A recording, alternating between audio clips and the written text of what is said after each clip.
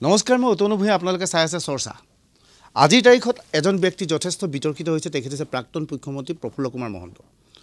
যিটো সময়ত সমগ্ৰ ৰাজ্যখনত বাংলাদেশৰ হিন্দু বঙালীসকলক নাগৰিকত্ব প্ৰদান কৰাৰ এক প্ৰক্ৰিয়া চলি আছে যিটো সময়ত কেন্দ্ৰীয় চৰকাৰে এখন বিল আনিছে যিটো সময়ত জইণ্ট পাৰ্লিয়ামেণ্টেৰী কমিটি গঠন কৰা হৈছে বিভিন্ন সংগঠনৰ মতামত লোৱা হৈছে। সেই সময়ত বিজেপিৰ মিত্ৰগোটৰ থকা অসম গণ পৰিষদৰ জ্যেষ্ঠ নেতা তথা প্ৰাক্তন মুখ্যমন্ত্ৰী প্ৰফুল্ল কুমাৰ মহন্তই হিন্দু বঙালীক ভাৰতীয় নাগৰিকত্ব প্ৰদানৰ সম্পূৰ্ণ বিৰোধিতা কৰি আছে। আজি আমি চৰ্চাত কথা পাতিম প্ৰফুল্ল কুমাৰ মহন্তৰ সৈতে।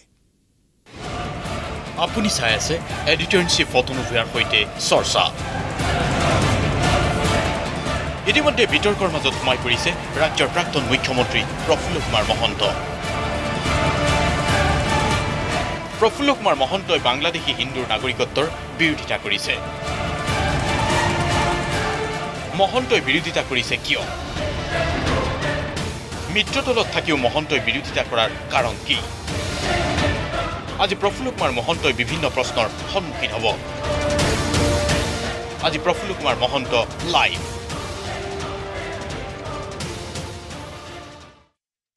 অসমত এতিয়া বিজেপি আৰু অগপৰ মিত্ৰ চৰকাৰ আছে। কিন্তু এই মুহূৰ্তত যদি বিজেপিৰ নেতৃত্ব সোধা হয় তেওঁলোকৰ প্ৰধান শত্ৰু কোন? তৰুণ গগৈ ৰিপুণ বৰা কংগ্ৰেছৰ কোনো নেতা নে কোন? লগে লগে উত্তৰ আহিব প্ৰফুল্ল কুমাৰ মহন্ত। চৰকাৰখনৰ বিভিন্ন কাম কাজক বিভিন্ন সময়ত তেওঁ সমালোচনা কৰি আহিছিল যেতিয়া মূল্যবৃদ্ধি হয় তেতিয়া কোনো মাত মতা নাছিল তেতিয়া প্ৰফুল্ল কুমাৰ মহন্তই মাত মাতিছিল আজিৰ তাৰিখত হিন্দু নাগৰিকত নাগৰিক হিন্দু বঙালীসকলক নাগৰিকত্বৰ মৰ্যাদা দিব ওলোৱা বিষয়টোক কেন্দ্ৰ কৰি যিজন নেতা আটাইতকৈ সুচাৰ হৈ পৰিছে তেখেত হৈছে প্ৰফুল্ল কুমাৰ মহন্ত। মহন্ত সুচাৰ হৈছে কিয়? বিজেপিৰ একাংশ নেতাই কয় কেৱল মহন্তই মাত মাতিছে অসম গণ পৰিষদে মাত পতা নাই এয়া মহন্তৰ নিজৰ ব্যক্তিগত মতামত। এনেধৰণৰ খবৰ বিজেপিৰ মাজত ওলাইছে যে প্ৰফুল্ল কুমাৰ মহন্তই ৰাজ্যপাল হ'ব বিচাৰিছিল। বিজেপি নেতৃত্বক হেঁচা দিছিল যে কোনো এখন ৰাজ্যৰ ৰাজ্যপাল হিচাপে মহন্তক নিযুক্তি দিব লাগে মহন্তই ৰাজ্যৰ ৰাজনীতিত থাকিব বিচৰা নাই। কিন্তু বিজেপিৰ কেন্দ্ৰীয় নেতৃত্বই মহন্তৰ এই প্ৰস্তাৱ অগ্ৰাহ্য কৰিছে। এনে অৱস্থাত আক্ৰোশমূলকভাৱে মহন্তই ঘনে ঘনে বিজেপিক আক্ৰমণ কৰিছে নেকি? দ্বিতীয়তে লোকসভাৰ নিৰ্বাচন সমাগত লোকসভাৰ নিৰ্বাচনৰ প্ৰাক মুহূৰ্তত অসম গণ পৰিষদে নিজা প্ৰাৰ্থী দিয়াৰ পৰিৱৰ্তে লখিমপুৰ সমষ্টিৰ পৰা লখিমপুৰ উপ নিৰ্বাচনত বিজেপিক সমৰ্থন জনাব ওলাইছে। মহন্তৰ এই সংখ্যাটোৰ স্থিতি কি? এই বহু প্ৰশ্নৰ উত্তৰ আজি মহন্তৰ পৰা বিচাৰিবলৈ আমি চেষ্টা চলাম। আজি আমাৰ এই অনুষ্ঠানত প্ৰফুল্ল কুমাৰ মহন্ত লাইভ থাকিব। মহন্ত ডাঙৰীয়া দিছপুৰৰ চৰকাৰী ঘৰত আছে। আজি আমি কথা পাতিম পোনে পোনে প্ৰফুল্ল কুমাৰ মহন্ত লাইভ।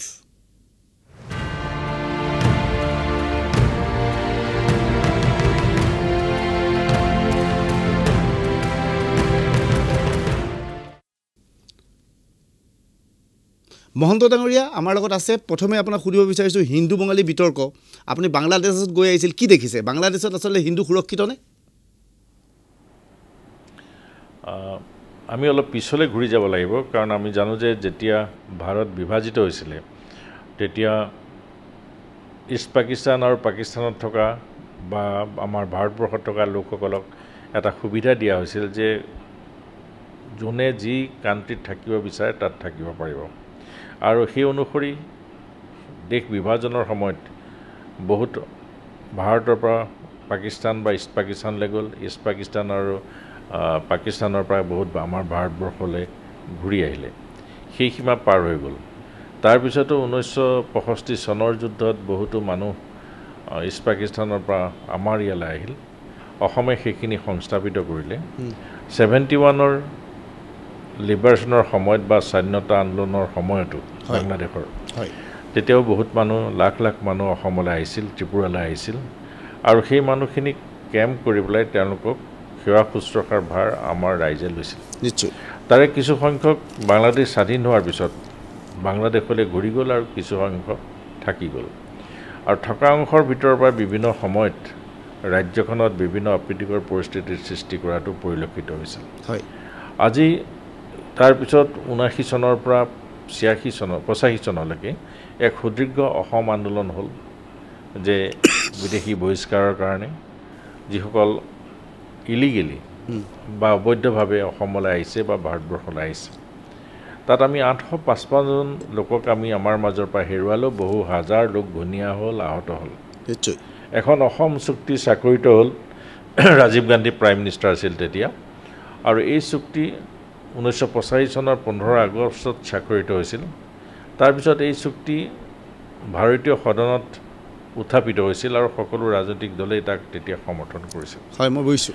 এতিয়া অসমে এসত্তৰ চনলৈকে হিন্দুৱেই হওক মুছলমানেই হওক এই সকলোৰে বোজা জাপি ল'ব লগা হ'ল। এতিয়া এসত্তৰ চনৰ পিছতো যিসকল আনিব বিচাৰিছে এই ক্ষেত্ৰত আমি স্পষ্টভাৱে কৈছোঁ যে অসম চুক্তি উলংঘা কৰিব দিল্লীৰ চৰকাৰে নোৱাৰিব। আৰু অসম চুক্তি উলংঘিত হ'লে তাৰ প্ৰতিবাদ আমি কৰি যাম। এতিয়া বাংলাদেশত মই নিজে বাংলাদেশ আৱামী লীগৰ বিস্তম তেওঁলোকৰ অধিৱেশনলৈ আমাক আমন্ত্ৰণ জনাইছিলে। মণিপুৰ আৰু মেঘালয়ৰ পৰা আৰম্ভ কৰি মিজোৰামলৈকে। মিজোৰামৰ প্ৰাক্তন মুখ্যমন্ত্ৰী ডাঙৰীয়াও তেওঁ গৈছিল। আৰু ভাৰতৰ ৰাষ্ট্ৰীয় দলৰ ভিতৰত বিজেপিৰ পৰা তেওঁলোকৰ এজন উপসভাপতি তালৈ গৈছিল আৰু ৰাষ্ট্ৰীয় কংগ্ৰেছ দলৰ পৰা গোলাম নবী আজাদ ডাঙৰীয়াই গৈছিল। ৰাজ্যসভাৰ যি বিৰোধী দলপতি তেওঁ তাত যোগদান কৰিছিল আৰু বহুতো বিদেশী ৰাষ্ট্ৰই এই সন্মিলনত যোগদান কৰিছিল। তাত আমি বিভিন্ন ঠাইত গৈছিলোঁ বিভিন্ন হিন্দু হওক শিখ হওক জৈন হওক তেওঁলোকৰ বিভিন্ন মানুহ আমি তাত লগ পাইছিলোঁ যি ভাৰতীয় মানুহ। তেওঁলোকৰ লগতো আমি মত বিনিময় কৰিছিলোঁ আৰু তেওঁলোকে তেতিয়া কৈছিল যে বি এন পি গভমেণ্ট যেতিয়া আছিল খালেদা জিয়াৰ গভমেণ্ট তেতিয়া তেওঁলোকে হাৰাশাস্তিৰ কিছু সন্মুখীন হ'ব লগা হৈছিল। কাৰণ তাত দুটা কথা আছিল। এটা হৈছে যে কিছুমান মানুহ প্ৰ' পাকিস্তানী হৈ থাকি গ'ল আৰু কিছুমান সৰহসংখ্যক মানুহ ভাৰতক ভাল পায়। এই প্ৰ' পাকিস্তানী যিখিনি মানুহ সাম্প্ৰদায়িক দলৰ লগত লগ লাগি মাজে মাজে বি এন পি গভমেণ্ট থাকোঁতে তেওঁলোকে বিভিন্ন ঠাইত সংখ্যালঘু লোকসকলৰ ওপৰত উৎপাত কৰাটো অসত্য নহয়। কাৰণ তেওঁলোকৰ ওপৰত উৎপাত কৰিছিল কাৰণ তেওঁলোকে ভাৰতীয়সকলক ভাল পায়। কিন্তু যেতিয়া আৱামী লীগৰ চৰকাৰ আহিল এই আৱামী লীগৰ চৰকাৰ অহাৰ পিছত শ্বেখ হাছিনাৰ নেতৃত্বত কোনো ঘটনা তাত সংগঠিত হোৱা নাই। তেওঁলোকে যথেষ্ট নিৰাপত্তা লাভ কৰিছে বুলি আমাক জনাইছে। আৰু তেওঁলোকে এইটোও কৈছে যে এইবাৰে প্ৰথম বাংলাদেশত ঊনত্ৰিছ হাজাৰ পাঁচশখন দুৰ্গা পূজাৰ অনুষ্ঠিত হৈছে। য'ত চৰকাৰে যি অঞ্চলত পাতিব নোৱাৰিব তাত চৰকাৰে আৰ্থিক অনুদানো আগবঢ়াইছে আৰু প্ৰধানমন্ত্ৰী ডাঙৰীয়ানীয়ে নিজে কেইবাখনো পূজাস্থলীলৈ গৈছে। আৰু ঢাকেশ্বৰী মন্দিৰৰ যিটো দুৰ্গা প্ৰতিমা ৰখাৰ নতুনকৈ স্থান পূজা কৰাৰ স্থান হ'ব সেইটো সম্পূৰ্ণ চৰকাৰী খৰচত বনাই দিয়াৰ ব্যৱস্থা কৰিছে। আমি যাওঁতে বনাই আছে তেওঁলোকে। গতিকে এইবাৰ বি এন পি গভমেণ্ট যোৱাৰ পিছত আৱামী লীগৰ গভমেণ্টৰ সময়ত আমাৰ যিখিনি হিন্দু মানুহ হওক বা আন সংখ্যালঘু মানুহ হওক তেওঁলোক শান্তিত আৰু নিৰাপত্তাত আছে বুলি আমাক জনাইছে। আমাক এই কথাটো জনাইছে যে হাই কমিশ্যনে যে যেতিয়া ক'ৰবাত যদি কিবা অপ্ৰীতিকৰ ঘটনা ঘটাৰ সম্ভেদ তেওঁলোকে পায় তেতিয়াহ'লে বাংলাদেশৰ প্ৰশাসনৰ লগত আমাৰ হাই কমিশ্যনাৰ অফিচৰ পৰা মানুহ তালৈ যায় আৰু তাক প্ৰশমিত কৰিবৰ কাৰণে চেষ্টা কৰে আৰু সেইটোত তেওঁলোক সফল হৈছে। গতিকে শ্বেখ হাছিনাৰ গভমেণ্ট হোৱাৰ পিছৰ পৰাই তাত থকা সংখ্যালঘু মানুহসকলে নিৰাপত্তা লাভ কৰিছে বুলি আমাক জনাইছে। কিন্তু বিজেপিয়ে কৈছে এতিয়া নিৰাপত্তা পাইছিল আগতে নিৰাপত্তা নাছিল ভৱিষ্যতেও যদি নিৰাপত্তা নাপায় হিন্দু ভাৰতলৈ নাহি আহিব ক'ত? এই লোকসকল ক'লৈ যাব? নাই অনাগত কাৰণৰ কাৰণেতো দুৱাৰখন খোলা থাকিব নোৱাৰে। তেওঁলোকে অপশ্যন বহুতবাৰ পাইছিল। দেশ পাৰ্টিশ্যনৰ সময়ত অপশ্যন পাইছিল। তেতিয়া তেওঁলোক নাহিলে। তাৰপিছত আহি আন ৰাজ্যৰ কথা বেলেগ। আজি আন ৰাজ্যই কিয় গ্ৰহণ নকৰে? যে তেওঁলোকক যে অসমে গ্ৰহণ কৰিব লাগিব। আজি যদি চল্লিছ লাখ এক কোটি সত্তৰ লাখ হিন্দু মানুহ তাত আছে। এতিয়া বাংলাদেশ আমাৰ বন্ধুত্বপূৰ্ণ ৰাষ্ট্ৰ। গতিকে বাংলাদেশ চৰকাৰক ভাৰত চৰকাৰে বাধ্য কৰাব লাগিছিল বা তেওঁলোকক বুজাব লাগিছিল যে তেওঁলোকে তাত থকা সংখ্যালঘুসকলক নিৰাপত্তা দিব লাগে। কিন্তু তাৰ সলনি তেওঁলোকক লৈ অনাৰ যিটো ব্যৱস্থা কৰিছে সেই ব্যৱস্থাটো শুভ লক্ষণ কিন্তু নহয়। আমাৰ ভাষা ভাষা সাহিত্য সংস্কৃতি বিনষ্ট হ'ব নোৱাৰাকৈ অসম সুৰক্ষিত থাকিব লাগিব। অসমৰ খিলঞ্জীয়া জনসাধাৰণৰ ভাষা সাহিত্য সংস্কৃতি সুৰক্ষিত থাকিব লাগিব আৰু অসম চুক্তি ভায়লেট কৰিব নোৱাৰিব। কিবা কাৰণত যদি আনি তেওঁলোকক বাকী ৰাজ্যবিলাকত ৰাখে তেতিয়াহ'লে অসমক অসম চুক্তি অনুসৰি সাংবিধানিক ৰক্ষণাবেক্ষণ দিব লাগে ৰাজনৈতিক সাংস্কৃতিক যে তেওঁলোকে আহি যাতে আমাৰ সংস্কৃতি আমাৰ ভাষা ক্ষুণ্ণ কৰিব নোৱাৰে। কিন্তু অসম চৰকাৰৰ মুখপাত্ৰ চন্দ্ৰমোহন পাটোৱাৰীয়ে কৈছে এইটো ভুল ধাৰণা যে অসমতে ৰখা হ'ব বুলি ভুল ধাৰণা এটা ভ্ৰান্ত ধাৰণা উলিওৱা হৈছে। অসমতে তেওঁলোকৰ ৰখাৰ কোনো কথা কোৱা হোৱা নাই।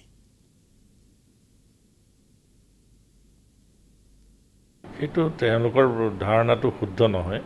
কাৰণ দণ্ডকাৰণ্যত ইয়াৰ আগতো বাংলাদেশৰ পৰা ইষ্ট পাকিস্তানৰ পৰা মানুহ আহি সংৰক্ষিত কৰিছিল। তেওঁলোক সংস্থাপন কৰিছিল সংৰক্ষিত নহয়। আৰু সেই মানুহখিনিয়ে দণ্ডকাৰণ্য বাদ দি পেলাই আজি অসম আৰু ত্ৰিপুৰাত তেওঁলোকে ত্ৰিপুৰালৈ গুচি আহিল। তাক তেওঁলোকে কিন্তু ঘূৰাই পঠাব পৰা নাই। ৱেষ্ট বেংগলত পশ্চিমবংগত পশ্চিমবংগৰ মুখ্যমন্ত্ৰী মমতা বেনাৰ্জীয়ে কৈছে যে আমি এজনো বঙালী আমি পশ্চিমবংগত সংস্থাপন নিদিওঁ এতিয়া। যদি ৱেষ্ট বেংগলে ক'ব পাৰে অসমে কোৱাত কি কথা আছে? আৰু তেওঁলোকতো অসম চুক্তিৰ তেওঁলোকৰ অংশীদাৰ স্বাক্ষৰ কৰাৰ। আৰু তেওঁলোকে অসমৰ স্বাৰ্থ কিয় বিনষ্ট কৰিবলৈ গৈছে? অসমৰ ভাষা সাহিত্য সংস্কৃতি ৰক্ষণাবেক্ষণ দিয়া অসমৰ মাটি সুৰক্ষিত কৰাটো দায়িত্বটো এটা চৰকাৰৰ। আৰু এই চৰকাৰে মই ভাবোঁ যে সেই দায়িত্ব পালন কৰিবৰ কাৰণে আগবাঢ়ি আহিব।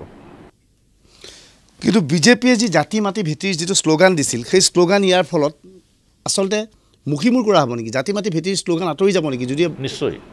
কাৰণ এটা জাতি বৃহৎ অসমীয়া জাতি আজি ভাগ ভাগ হৈছে। আৰু এই ঘটনাটো প্ৰক্ৰিয়াটো চলিলে আৰু সম্ভাৱনা নাইকিয়া হ'ব। কংগ্ৰেছ চৰকাৰে কংগ্ৰেছ চৰকাৰে বাংলাদেশৰ লগত যেতিয়া মাটিৰ চুক্তি স্বাক্ষৰিত কৰিছিল তেতিয়া বিজেপিয়ে গৈ পেলাই কৰিমগঞ্জৰ সীমান্তত তেওঁলোকে ৰাষ্ট্ৰীয় পতাকা উত্তোলন কৰি কৈছিল যে আমি অসমৰ এক ইঞ্চি মাটিও বাংলাদেশক নিদিওঁ। কিন্তু আজি চেণ্টাৰত বিজেপি গভৰ্ণমেণ্ট হোৱাৰ পিছত চেণ্টাৰত কংগ্ৰেছ চৰকাৰ হোৱাৰ পিছত চেঞ্জ হোৱাৰ পিছত আজি অসমৰ মাটি বাংলাদেশক এৰি দিয়া হ'ল। ষোল্ল মে'ৰ পিছত বাংলাদেশে তাদি টোপোলা বান্ধিব লাগিব বুলি কোৱাৰ পিছত আজি তেওঁলোকক নাগৰিকত্ব দিবলৈ ওলোৱা হ'ল যিসকল বাংলাদেশৰ পৰা নতুনকৈ আহিব। বাংলাদেশী হিন্দুৰ বিৰোধী মই নহয় বা আমাৰ দল নহয় কিন্তু অসমৰ স্বাৰ্থ আমাৰ সকলোৰে আগত থাকিব। অসমৰ স্বাৰ্থ ৰক্ষা কৰিহে আজি তেওঁলোকক আনি যদি কিবা হিউমেনিটেৰিয়ান গ্ৰাউণ্ডত আন আন ৰাজ্যত সংস্থাপিত কৰিব বিচাৰে তাত আমাৰ ক'ব লগা নাই। কিন্তু অসম চুক্তি উলংঘা কৰিব নোৱাৰিব আৰু অসমৰ খিলঞ্জীয়া জনসাধাৰণে সম্পূৰ্ণ সাংবিধানিক ৰক্ষণাবেক্ষণ পাব লাগিব। অৰ্থাৎ আপুনি ক'ব বিচাৰিছে এই হিন্দু বঙালীসকলক যদি নাগৰিকত্ব প্ৰদান কৰি আন ৰাজ্যত ৰখা হয় তেনেহ'লে আপোনাৰ আপত্তি নাই কিন্তু অসমত ৰাখিব নোৱাৰিব। নাই আজি অৰুণাচললৈ আমি যাব নোৱাৰোঁ। আজি মেঘালয়লৈ আমি ইনাৰ লাইন পাৰ্মিট কি নাগালেণ্ডলৈ ইনাৰ লাইন পাৰ্মিট নোহোৱাকৈ আমি যাব নোৱাৰোঁ। গতিকে সেই অধিকাৰটো আমি ভাৰতীয় নাগৰিক হোৱা স্বত্তেও আমাৰ সেই অধিকাৰ নাই।